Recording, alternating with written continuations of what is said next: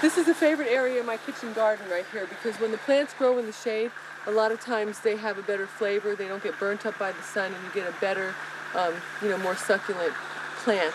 There's a lot of things growing right in here that we can use. One of the most common probably is this right over here, which is a, a, china, a chenopodium. Joe tells me I pronounced that wrong, but goosefoot is another um, name for it. And this is a really good plant just for salads. You can make a really good like stew out of it with um, garlic and, and uh, I put olive oil in it and then they stew up just like spinach greens you know, and they're really good that way, some of these. And when you look for these plants, the younger the plant, the better off they are. So you want to look for the young plants that are probably just coming out and there's these things. You can look at the shape of the leaves on these and they look like a goose foot. So they're pretty easy to identify. A few of them, and, and if you, you could see right in here, the birds have been over here a lot. So we probably want to get some that bird bird, bird droppings. Right, there's bird droppings. The, those are not part of the uh, actual plant. They're bird droppings. Right. so you want to make sure when you're gathering, you gather some that don't have bird droppings on them. Yes. Um, this plant over here is a smaller plantain plant, and this is smaller, so I'm going to gather some of these. And the plantain plant is has medicinal value as well as food value. It's high in a lot of different vitamins, and um, it's also used as a poultice where you can crush it up in your teeth, just like this.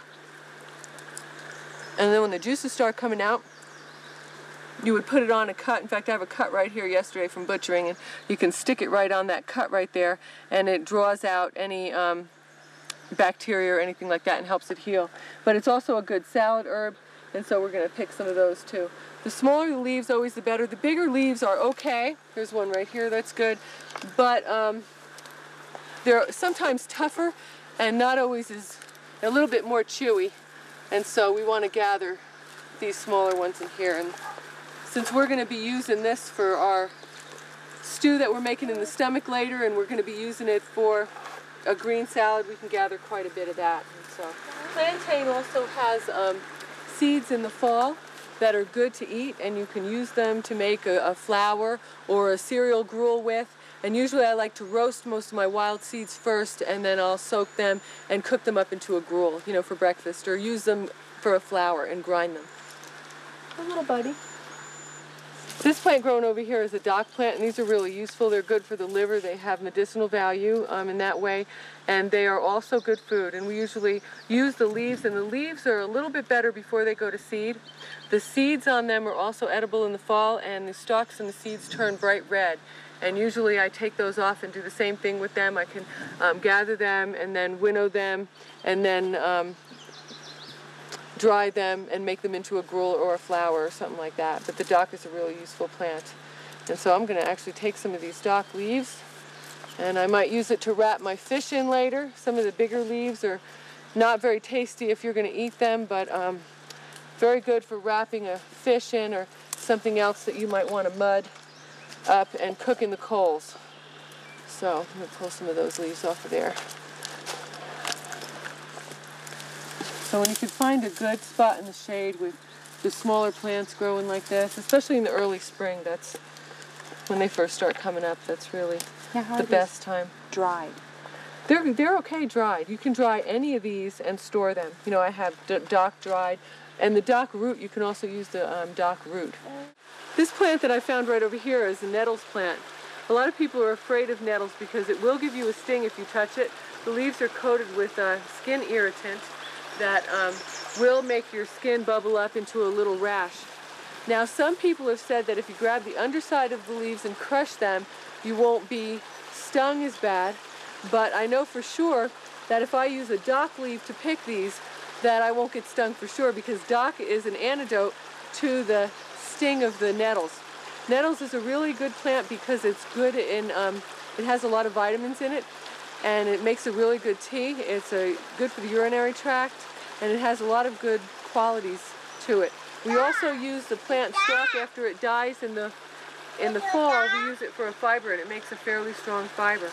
So if I was to take this dock leaf and use it to gather the nettles, I wouldn't get stung. And then I could use the nettles for tea, and I'm just gonna... You just pull them off leaf by leaf? Just pull them off leaf by leaf like that. Okay. And you know, it's you can just we can just grab a stalk of it and then uh, And then pull the leaves bring it off back, back to camp and camp. pull it yeah. off back at the camp. Yeah, Great. except it's really fibery, so I'm probably gonna have to cut it. No. Okay. This is some wild mint right here. And one of the characteristics of mint, of the mint family, is the square stem. And if you look really closely, you can see the stem is square. And you can smell it already, can't you? Oh yeah, it Yeah, smells it like smells really good. And we're going to gather some of these and um, put them in our tea. So, to Wonderful. smell that? It smells good, doesn't it? You think something smells bad? Maybe it's the swamp. It might be. Even though the swamp smells bad, the swamp is a wonderful place. Do you know why? Because there's a lot of good things to eat in the swamp, and the swamp provides a lot of food for different animals. This is where the food chain starts. You know what the food chain is? No? Not yet, huh? No. The food chain starts in the cattail patch. And look over there. If you look in the cattail patch, you could see birds. See birds right there? There's a blackbird right over there. And there's little critters that go in and out of the cattail. See the bird right up there? This is the pot scrubber. Great. And that's what we're going to be scrubbing our pots with later today when we're done when we're done eating. Right.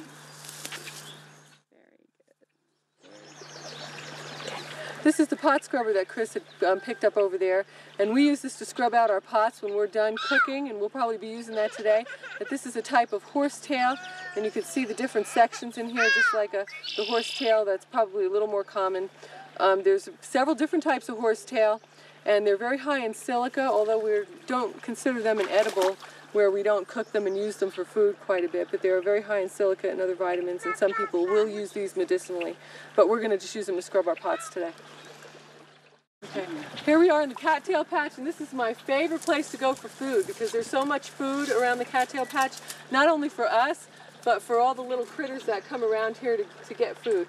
This is where the food chain starts, and there's a lot of different animals and insects and things in here. But the cattail is edible four seasons out of the year. And at this time of year, we have several different ways that we can prepare and eat cattail. And I'll pick up. Okay, we'll get that. And let me grab a root here.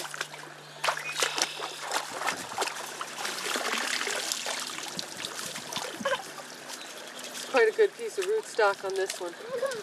So this is a cattail plant that I just pulled up out of the swamp here. And these roots here are edible four seasons out of the year. And I use these roots in soups and stews and I could also make a flour out of them. And what I do is clean them off really well and peel them, which we'll be doing later. And we'll take the inner, which is a white, um, you could see a little bit of it right here, right now. A white fibrous material, and it has a lot of um, carbohydrate in here. And you can see if I rub my finger along it, you can see what I gather up on my finger there, all that type of material. And Yeah. this right here is what we would use for um, flours. Oh. And we would take it, usually if I'm going to make flour out of it, I take it and I dry it and I pound it. Uh, I had read some people who had taken this inner part and soaking it, and then the fiber, the fibrous part will separate from the carbohydrate, and the fibrous part will go to the bottom of the bowl. And then they pour off the water and remove the fiber, and they have a lot of this um, carbohydrate that they can use for however they would like to use it. Sometimes what they would do is take it and uh, pour off the water and it would still be all kinds of wet, like a wet flour, and then they could add their other ingredients right to that and make their favorite bread or whatever it was that they would want to make. So, but today what we're going to do is we're going to peel these roots and we're going to cut them, we're going to put them in our stew. This cattail that I just pulled out of the swamp right now, I pulled it off where it connects to the rootstock right here. And usually in the spring, these are really good, and they're good throughout most of the late spring and summer too, as long as you see the smaller cattails growing. You want to catch them before they get too tall. Probably about two feet is about all you want them to grow to have the real tender parts. And these are edible. You just pull open the outer leaf right here. Actually, the whole thing is edible, but they start to get really fibery as you go up here. And most people um, really like the inner core, which is right in the center here. So I usually peel those outer leaves off and have a taste of that. So Sarah, do you want to have a taste of that? Yeah. Yeah. Tell us how it is. Good. Is it good? well, Yeah, you it's can eat that huh? whole one if you want. Cool.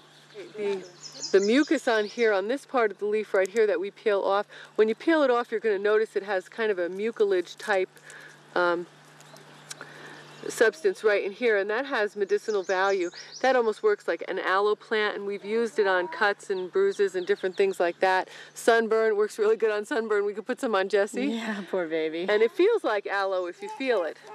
Does it smell good, Jesse? So, and it works at- pretty well. That's great. Oh, dang. As the cattail continues to grow, the male and female part are encased in this. Let me see, this one might be a little bit bigger. Well, this one's good. Are encased in the leaves like this. And usually what we do at this time of year is we pluck them off right below that leaf right there. And um, just cut them. So we just have this piece here. It's kind of like a cigar shaped piece and it's covered in the leaves. And if we put this in the coals of the fire and cook it for about 20 minutes and then peel it, we call it cat on the cob. And it doesn't taste exactly like corn, but it's really good with butter and salt. You want to buy? And this plant over here, well, this one has a pretty good cat on the cob right in here that we'll be able to get. And this plant right here, it's starting to open up as you can see on this plant. Let me move the leaves so you can see it. And you can see the yellow pollen starting to form on the top. And this pollen makes a really good flour. And it's really high in protein, so I like to add cattail pollen to a lot of the things I cook because it ups the protein value of it and makes it a lot more nutritious, especially if you have kids that like to eat bread, a lot of bread. And you can see if I move this around, you see the pollen? I can put it in my hand, you can see the yellow cattail pollen. And what I'll do is gather a bunch of these and then I'll shake it either in a bowl or a, or something or even in a bag. You can put it in a plastic bag and if you shake it the pollen will come out like that and you'll be able to gather a lot of that and it makes your food a brilliant yellow. It makes it really good looking and appetizing and it's very nutritious also. Now that we have everything from our kitchen garden, we go back to the kitchen.